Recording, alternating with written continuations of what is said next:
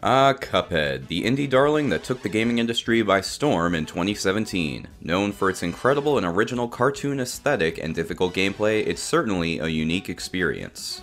There's just so much to love here, and it's all executed masterfully. Even so, there's one major element of Cuphead I don't see brought up very often, and that's the music.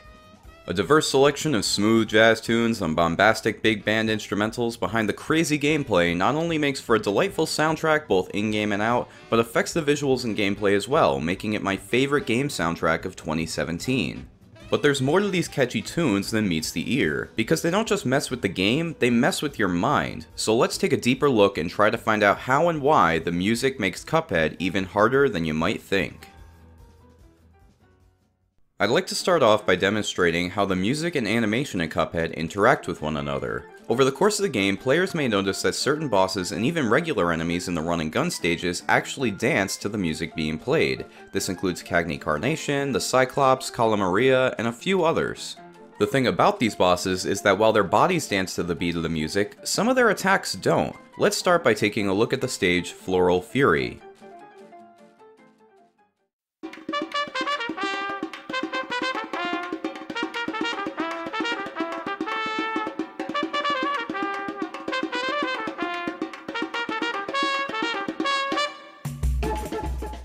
Not only is this samba music infectiously catchy, but it's so good that this sunflower of a bitch over here is dancing to it while you fight him. This continues throughout the entire round, but it doesn't just add another great element to the visuals, it also completely messes with the player's head while playing.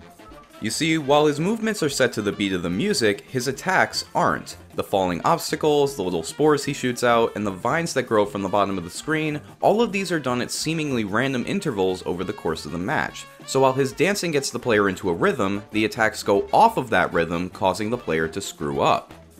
When the player is keeping the beat in their head, it means they're more likely to jump or move on that beat as well, and while he shoots projectiles to the beat, they actually fall pretty slowly. This results in the player being more likely to mistime their jump. This is partially why Cagney is commonly considered the most difficult boss in World 1.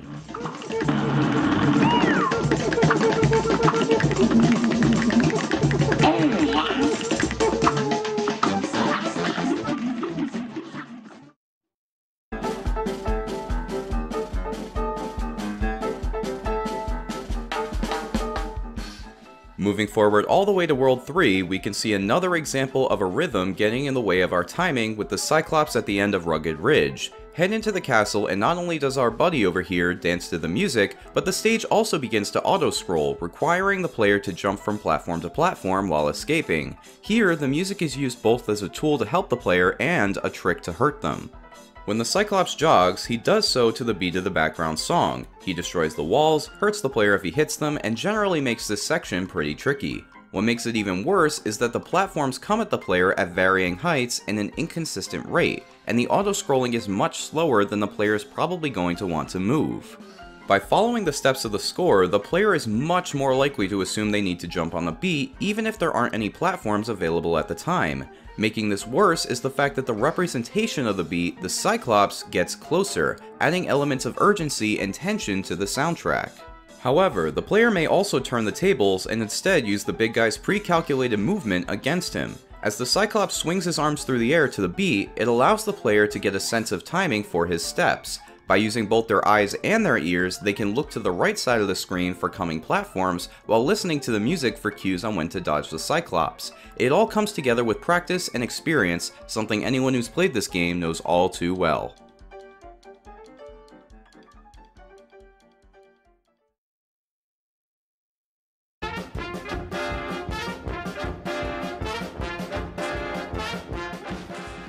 Taking a step back to World 2, it's time for a completely different challenge. If you thought preventing yourself from moving to the beat on the ground was difficult, try doing it in the air. While running around, the player has to obey the law of gravity, and this prevents them from continuously jumping on the beat too often. Since most of the soundtrack has such a high tempo, it would be nearly impossible for the player to try and dodge an attack by bouncing to the music as their jumps would need to be minuscule in order to keep up with the pace of the song. So while using your ears might result in a bad jump here or there on the dirt, the difference in the sky is that the player can move in any direction at any time. They don't just make bad moves, they can develop bad habits.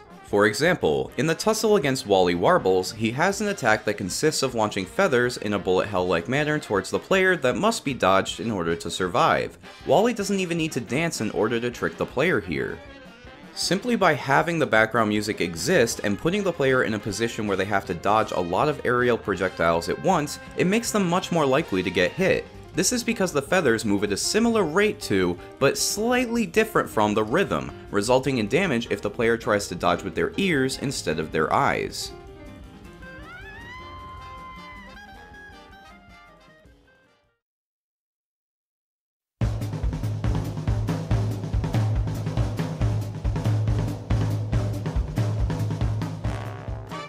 This is all subconscious manipulation at its finest. Even the best players will always have that little voice in their head telling them to get into the rhythm regardless of what they see on screen. That being said, of all the bosses that use music to their advantage in the game, Kala Maria is the most deceiving. She combines every element discussed thus far and then some, starting from phase 1. While in her first phase, Kala has a few attacks. She can summon pufferfish to fall from the sky, spit out ghosts, or summon one of her three companions, a horse that pushes Cuphead upwards, a turtle that launches bombs, and some electric eels that chase the plane around for a little bit. One of these attacks is not like the others. When Kala spits out her ghost, she always does so on the beat of the song. This wouldn't be so bad, except that nothing else in this fight moves to the music. This one action sets the player up to subconsciously associate the element of the battle with the audio, but when nothing else is, it simply serves to add another matter of confusion that must be overcome. Upon entering her second phase, Kala begins to dance, and again, some of her attacks move with the music and others go rogue. It's this back and forth that really makes her first two phases a struggle, and part of why this stage is one of the most intricately and deliberately designed in the entire game.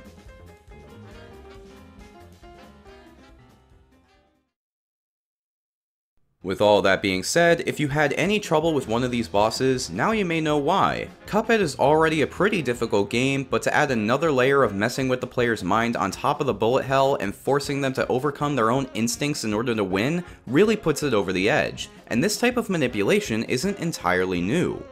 Think about it, what type of game makes the player's heart tell them to do something one way, even if their mind knows the only way to win is to do something else? If you guessed horror, then you're right. Is there a dark spooky corridor in front of you? Head on in. Is your heart racing from a jump scare? Stay calm and aim before you shoot. It's remarkable just how immersive techniques like this can make a game, as it puts players ever so slightly more into the shoes of their avatars.